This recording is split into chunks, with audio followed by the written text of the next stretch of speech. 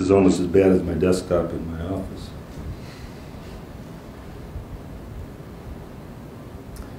Uh, I'd like to start out also by thanking the organizers, in particular Ann and Chris, for inviting me here. Um, I want to put forward a disclaimer right away. I am an experimentalist by training, and so this talk will be given from the point of view of an experiment, an experimentalist. Um, some of you who know me realize I had a postdoc in the solid state theory group, and uh, one of the main lessons I learned there, it was an important lesson, that is, the best way to get a theorist involved in a calculation is to do it yourself, and do it incorrectly. And they do it, and they get involved really quickly. That's my perspective here. Um, we've done some uh, scattering calculations I'll show you. They're very primitive compared to the capabilities that exist within this audience.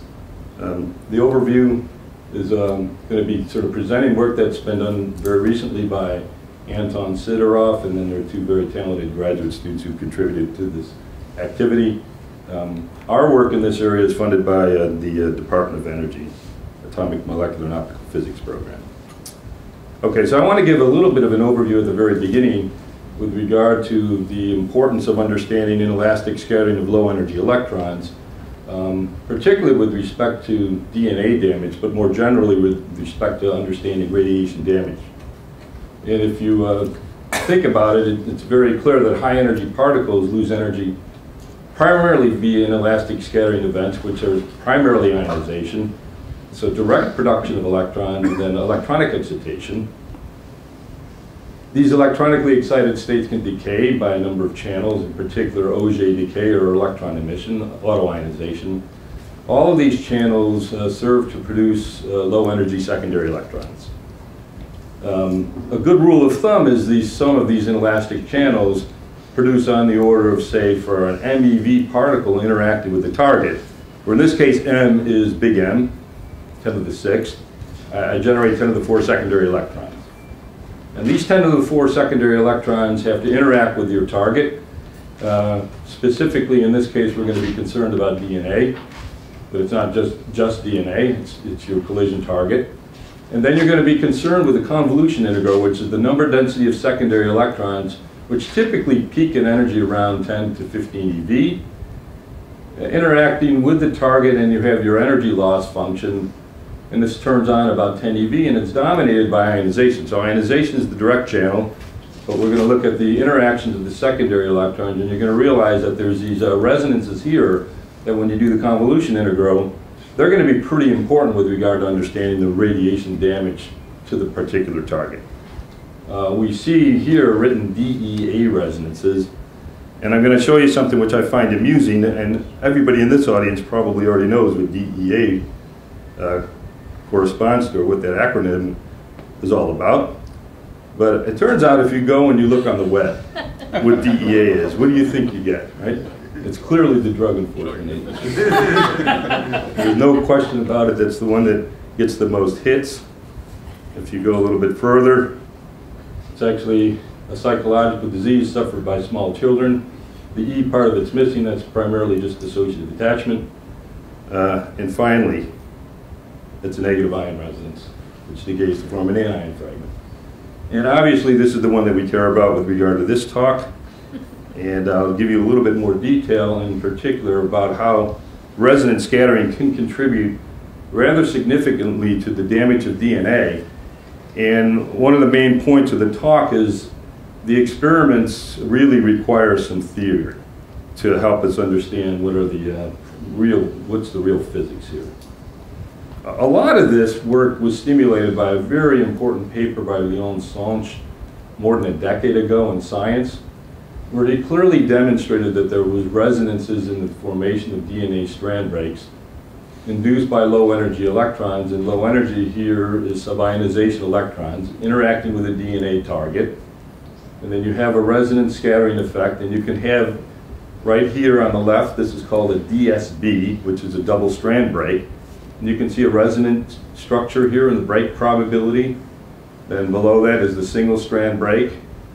There's also resonant structure here, and there's loss of supercoiled DNA. So in this particular experiment, they were looking at a coiled DNA, a supercoiled plasmid, and this is unraveling.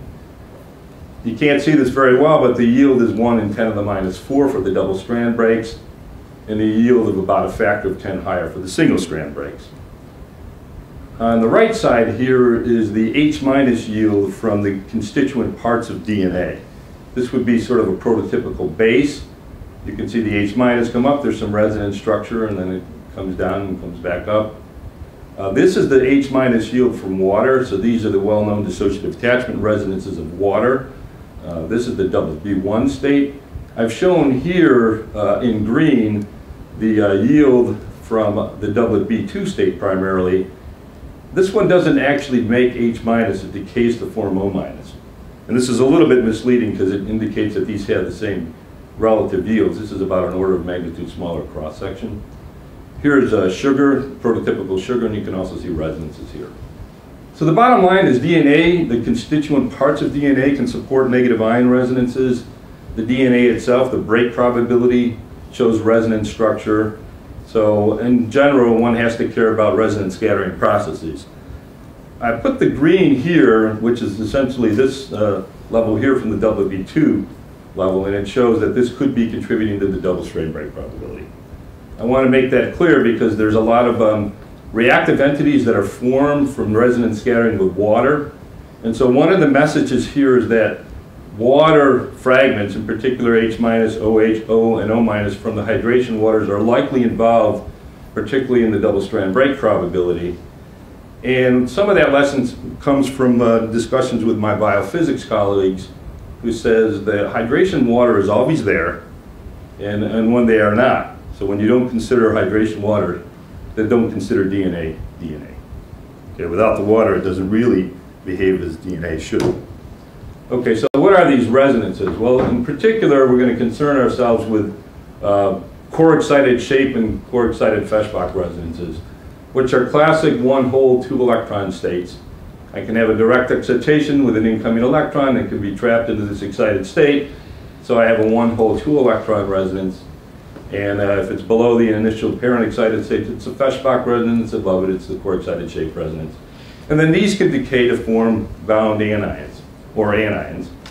And uh, a typical experiment is you scan the electron energy and you look at the uh, production yield of ions or anions as a function of incident energy. And you can see things will turn on around 5 eV, go up and down, and then come back up again as we get to these ion pair surfaces. This is exactly what the H minus yield from DNA looks like from its constituent parts. So it looks like clearly DNA damage may involve uh, one hole two electron type states. Uh, there's lower energy shape resonances that can contribute where we have a single particle shape resonances. They can also decay to form stable anion fragments or reactive radicals, but the uh, incident energy could be uh, well below 5 eV down to the 1 eV level, so much, much lower excitation energy. So you can get fairly efficient um, break probability of DNA by simply exciting a very low energy shape resonance. And so most of the resonance scattering, scattering channels that are available could lead to effective damage of DNA. Okay, so here's a cartoon, and pay attention to the fact that this is a cartoon for electron-induced DNA damage. We're going to go through four steps. So I have my target. I don't know why I chose this color. It's, it's not because it's close to Christmas time. the, the, uh, I chose it mostly because of the red berries here. These are oxygens that are correlated with water along the grooves of DNA. And this is sort of a, a simple 10 base pair sequence where you can have a full twist. Okay, so I have an incoming electron and it can excite, excite a, uh, a resonance, uh, which we think is a, a compound Feshbach resonance. And that incoming electron is maybe correlated why I say a compound resonance. I've written WB2 here because that represents the excited state of water, the anion resonance of water that decays to form O minus which would, could be coupled to a base or a phosphate, even to sugar. When this decays, it can kick off a very slow electron, and it can produce the fragments of water. Okay, so the, the, the uh, slow electron comes off as well as reactive oxygen fragments, and that can lead to a strand break right here. That slow electron that comes off can then uh, scatter over a certain scattering distance and excite a lower energy shape resonance. Okay? And this low energy shape resonance would, could be on the other side of the DNA and on a different part of the strand, albeit within a few lattice sites. And then it could lead to a localized double strand break. Okay?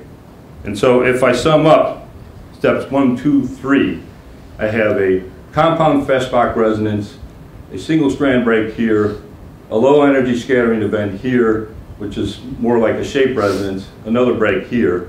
The sum of those leads to a double strand break. Sounds like a nice story. I think it may very well be a story unless we have some really good theory to back this up. I would say this is the very important role of theory, is can we model these resonances and dynamics well? And there's some very good calculations for the constituent parts of DNA, some calculations for small pieces of DNA, and very little that takes into account the, the full scattering and then the coupling between the water. So we really do need theory to see if this is a fact or fiction. Now I want to show you some experimental work as well as some theory that we've done that sort of has led us to go down this path. And I have to say that much of the work that's been done in this general area has been by Leon Sanche's group, so we're, we're following in his footsteps in many, many cases. The scattering calculation we've done is simply that. It's a diffraction calculation, so it's very primitive compared to what kind of theory can be carried out by the people in the audience.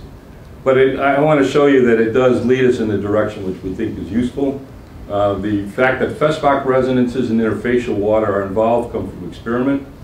And uh, one of the things we do is we, we go to the protein database and we can pull out the um, indices and geometrical coordinates of the, the, the um, crystallized DNA, and it gives us the positions, relative positions of the structural waters, and that's quite important. And then we do a sort of a scattering calculation. So this is a, an example of one of the fragments we've, we've uh, calculated diffraction in. And the, the calculation is a, a very straightforward one. Uh, like I said, fairly primitive. Uh, we start out with a uh, one electron excitation by uh, Fermi's golden rule, and we look at the incoming electron interacting with the target electron. And we have a, a fairly simple representation for the excitation from the initial to final state. Um, a complicated electron-electron interaction Hamiltonian, the density of initial to final states, uh, a delta function to conserve energy. And this is very difficult to evaluate, and so what we do is we, we, we really simplify it. So we ignore exchange and, uh, and correlations, we ignore all the final state details and then we write down this fairly simple expression with the screen Coulomb operator. And in the end, all we really do is calculate sort of the uh, overlap integral psi star psi that happens just due to diffraction or elastic scattering. So all we're doing is we're doing an elastic scattering calculation. So we do not deal with any electronic structure effects or any dynamic polarization or any coupling to the solvent. And unfortunately, this is where we really need to do the work. Um, this is where most of the uh, information is, and we don't touch this. We just look at wave amplitude buildup just due to geometric uh, effects. But even so, doing that simple calculation is uh, instructive. Uh, we don't need to go through the details of this.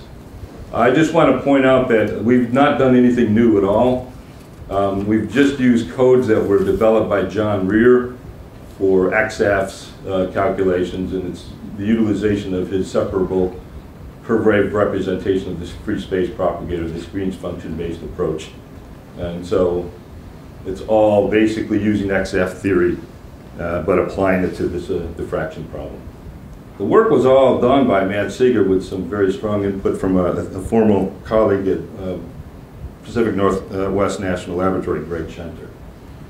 So we even simplify it further because this is a multiple scattering formalism where we have our introduction and termination matrices over some angular momentum. Uh, we actually just go, we don't do the multiple scattering, we just do first order scattering. We do a point excitation, so we, we sum up all the wave amplitudes on different uh, uh, sites and then just pop, you know, plot out the overall amplitude as a function of, of energy and angle. There's an inter, this is a solid state approach, so we need an interpotential, which we extracted from the literature. So the bottom line is if you do this calculation and you plot up the amplitudes over all of the uh, sugar available sugar sites, it- it's pretty boring. You see a, a fairly large amplitude buildup for excitation energies below 15 eV. Um, basically the same thing for the phosphates. There seems to be some structure that's present there. But uh, when you look at the waters that are in this calculation, then you find out that a lot of the, uh, that there is some oscillation reproducible, uh, which is primarily on the waters of hydration, and in particular those waters that are within the first shell. And this structure changes a little bit depending upon the base pair sequence. Okay, so this is the beauty of theory, from my perspective, is experimentally it's impossible really to control the number of waters and, the, and their positions within the major groove and minor groove. You can sort of localize it to just the first shell experimentally, but you really can't tell much more than that. Uh, in the um, calculation, what we've done is we've used 23 water molecules along this 10 base pair sequence, and all of these are within the inner shell, so no outer shell uh, water is included. And by inner shell, I mean within an 8 to 10 angstrom distance away from the, the DNA, and then you can have them within the major groove or the minor groove. And when you look at the amplitudes on the major groove versus the minor groove waters, you find out that the the um, oscillations are almost entirely on the major groove waters and not much on the minor groove waters. So if there's any diffraction, it seems like it may be related to the, the uh, relative uh, amount of water that's present within the major groove. Okay, so that's the extent of the theory, and it's, it's, uh, a fairly primitive approach. Uh, our, our expertise is in doing experiments, so we've developed two techniques to look at DNA damage with low energy electrons. And one of them is uh, very similar to the approach uh, initially carried out by Leon Sanche's group, where we spin codoplasmid DNA onto a film. This is an ultra high vacuum. Then we irradiate it with a pulsed electron beam. And then we do it in a, in a way such that we have a, uh, a linear response in the dose so that it's a single electron scattering event and then we can analyze the DNA fragments or the DNA damage using post-irradiation gel electrophoresis. So I'll show you some results there. And then we've uh, moved on and we've done an, an, another experiment where we've uh, done irradiation in ultra-high vacuum with a, a re redesigned gun with a different substrate because the substrate in this case actually does matter. Typically we use thick film so that we uh, remove the substrate, but we decided to put this on a gold-colored silicate substrate, and then I'll show you some very exciting results where we do this on graphene that's uh, deposited on uh, this gold-coated silicate. And then the DNA damage is then analyzed with Raman microspectroscopy. So we can, and it turned out this is much more sensitive than the gel, the gel electrophoresis technique.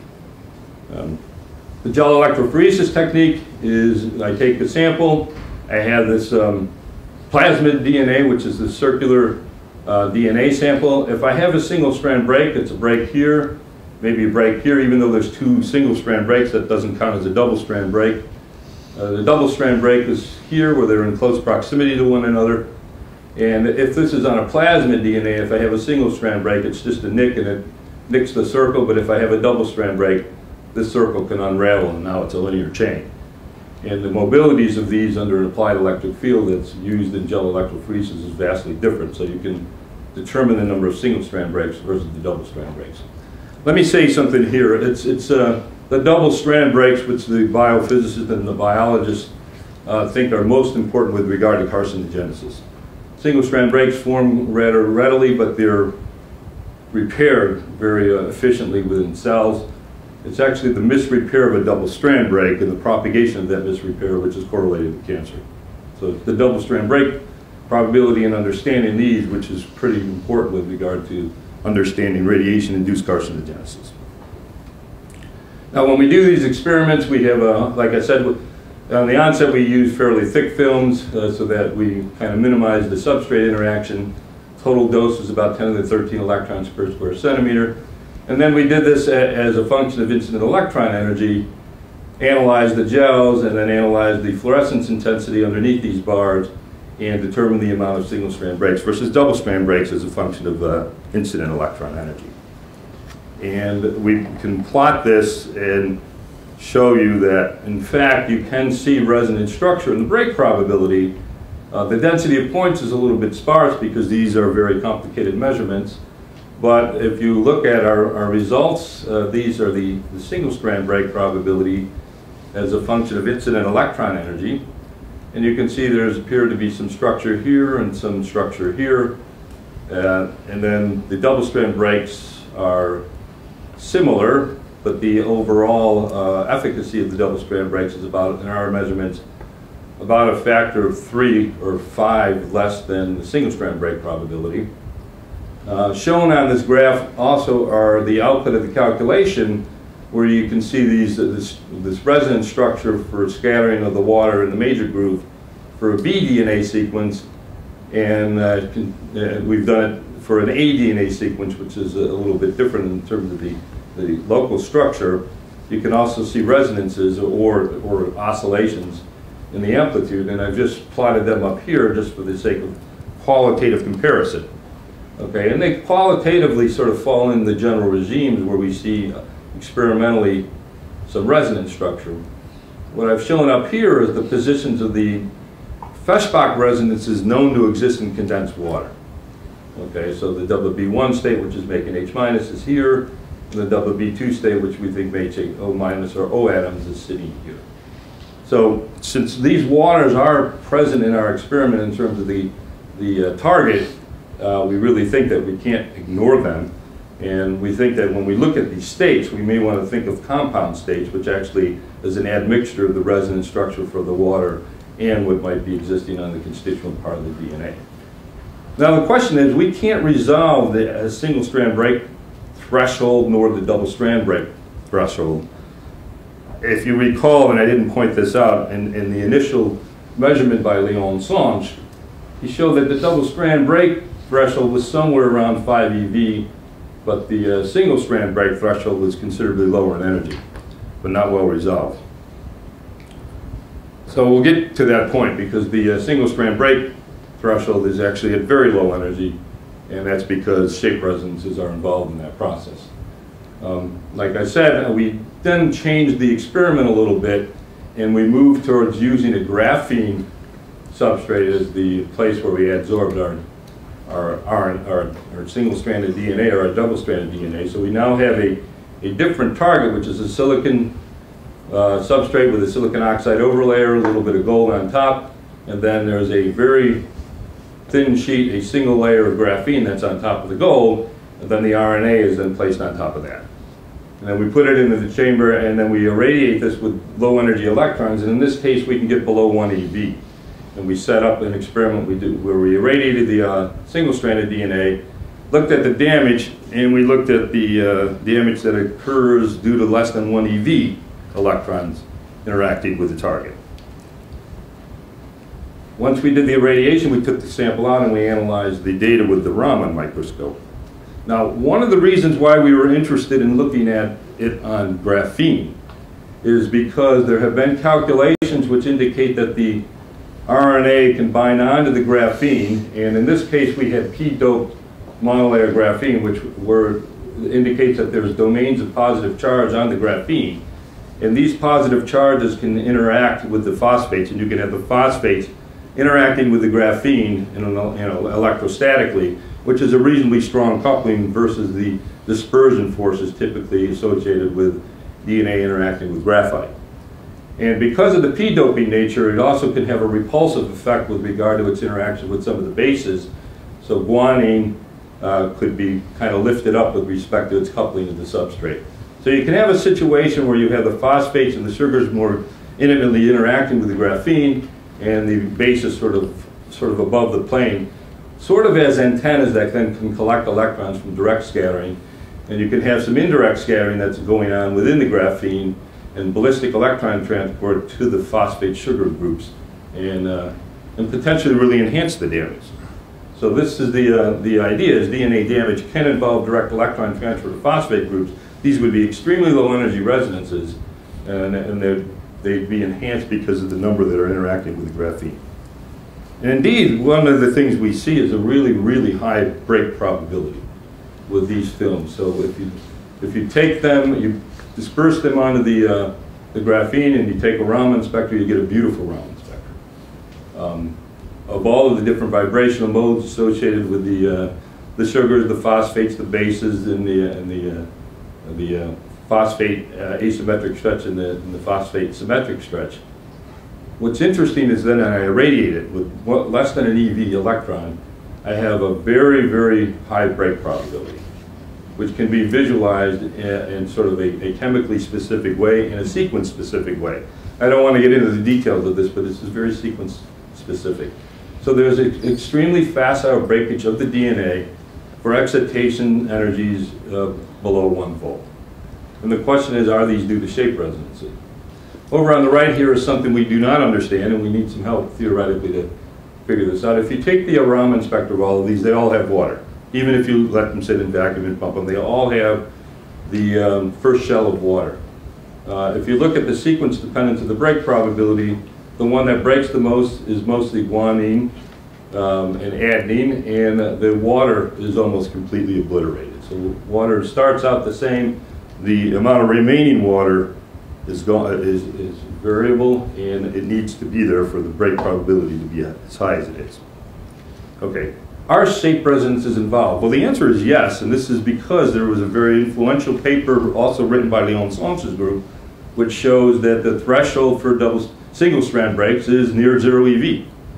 And then it goes up and it goes down, and if you go through this paper, their um, conclusions are that single strand breaks are correlated primarily in this paper with base pi star shape resonances.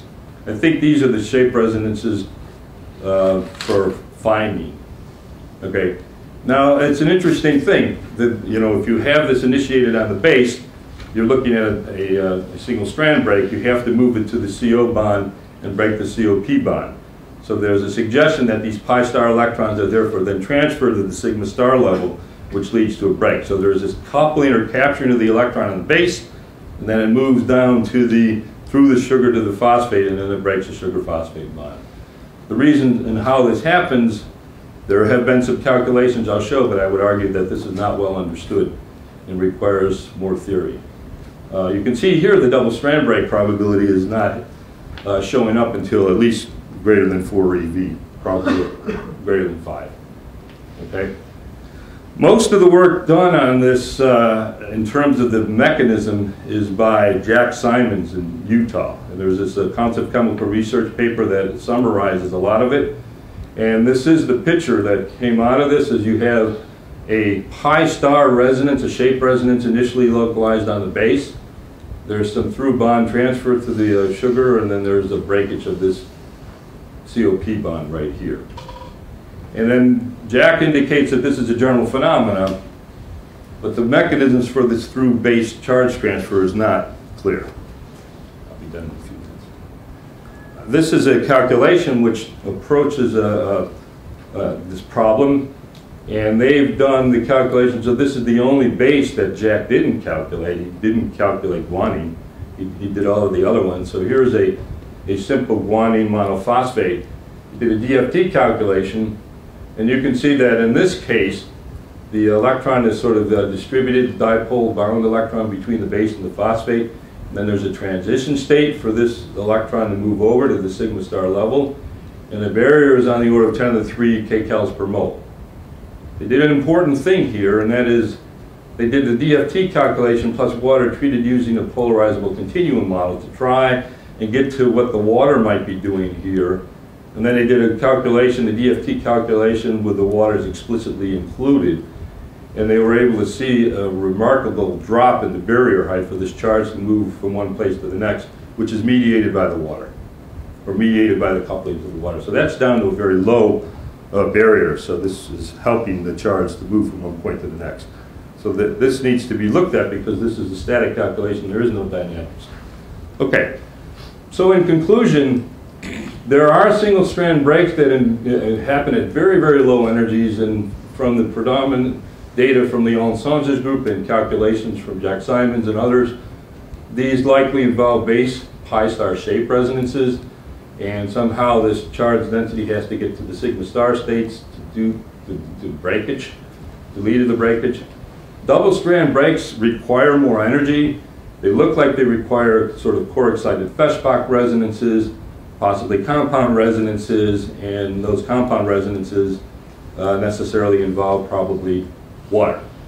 Um, this wasn't the point of the talk, but graphene, using this as a, uh, a good substrate, actually enhances the break probability, so it provides, from an experimental point of view, a good platform to look very explicitly at the sequence dependence of the damage and the role of the phosphates versus the bases directly.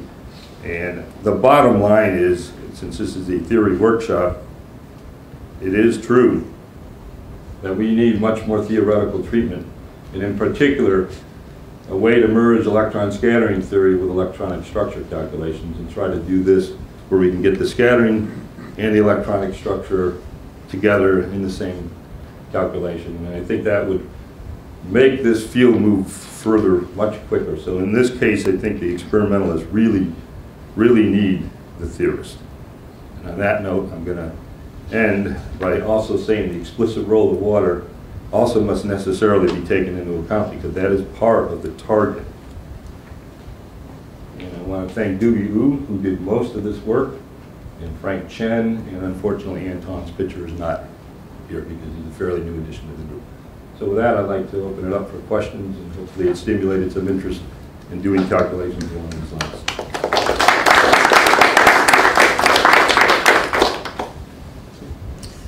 Now, you mentioned something interesting about guanine being the most likely place to break.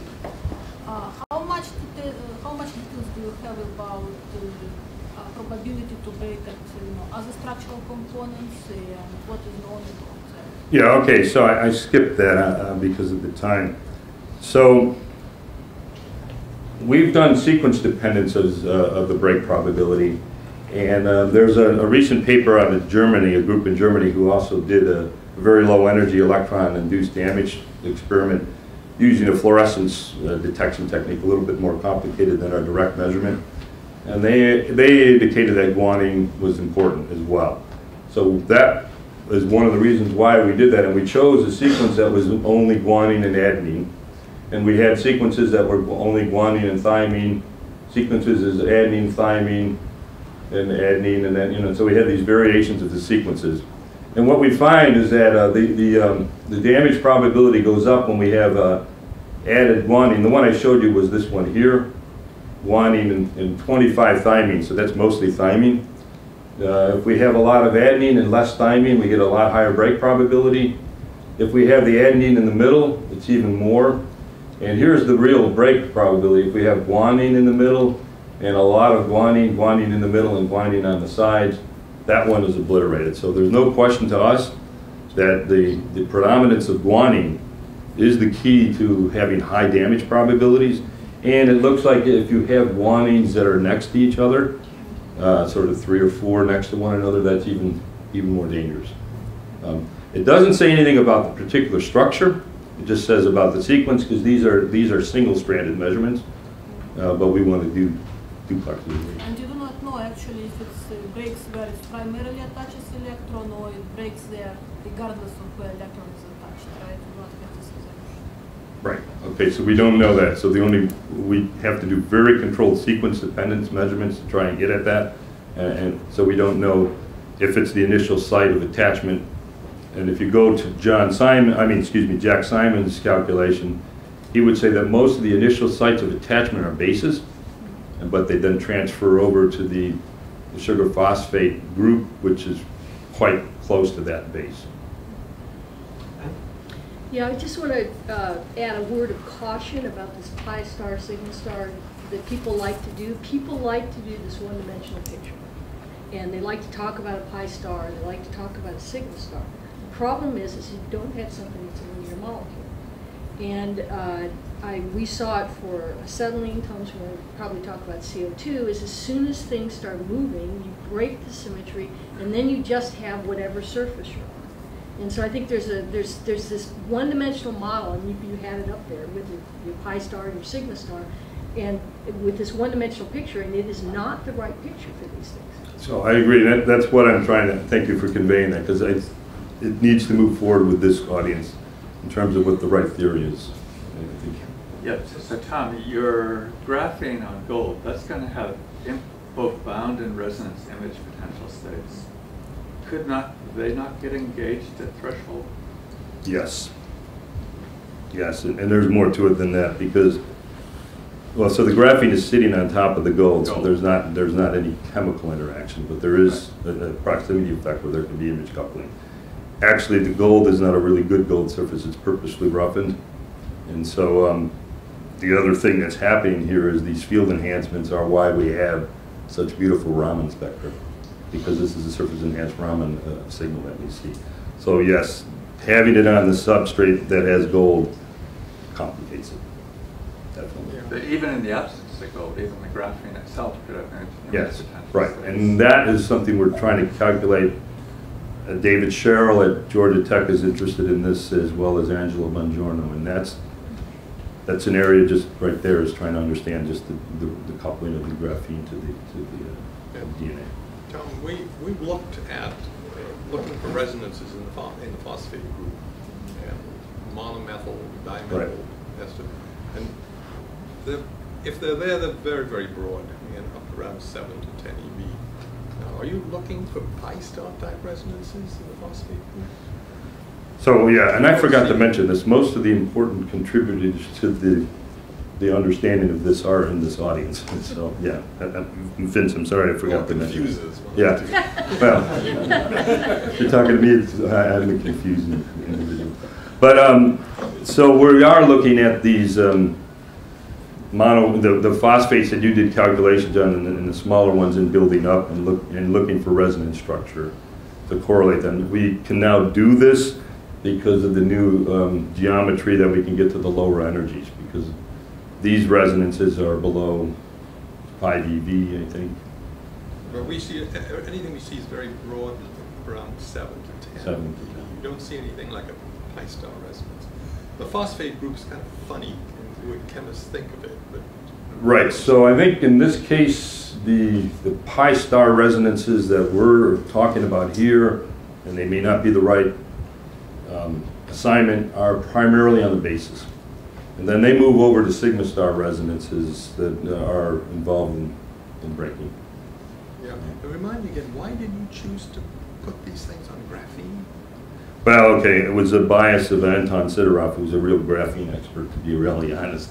Um, and we wanted to try, the other reason is we wanted to see the damage probability more sequence specific or bond specific. And you can't see that with the gel electrophoresis, you just see if you have a strand break or a single strand break or a double strand break.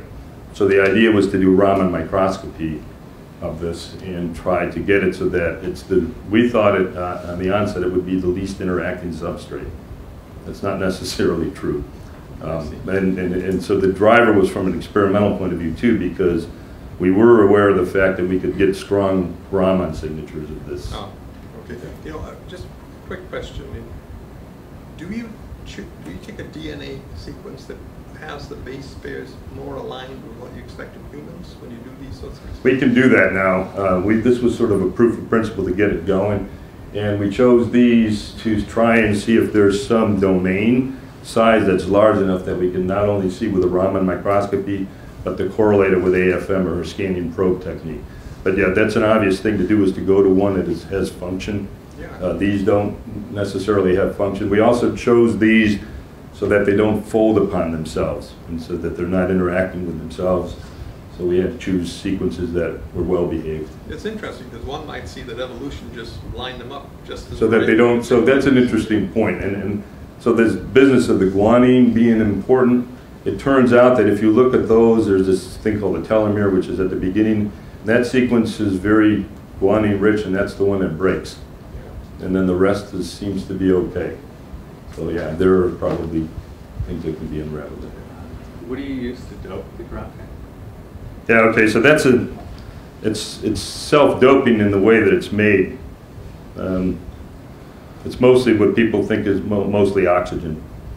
Uh, There's this chemical vapor deposition of, um, and there's methane and a helium argon flow, but it's not, there's some water that's present.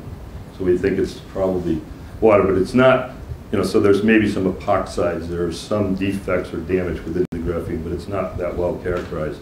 The fact that it's P-dope is because we've measured this with uh, electrostatic force microscopy, and you can measure the, the, the potentials. Uh, but you know, the, you know, what's directly causing the P-doping isn't chemically resolved. But you deliberately chose, We deliberately chose that because we knew that it was P-dope. Well, he knew that it was P-dope, I didn't know it was P-dope. Anton? Probably we can continue discussion during the coffee break because now we have a coffee break. Uh, and then we, uh, in 20 minutes we return back to the office. Okay, let us Okay, thank thank you. Thomas again.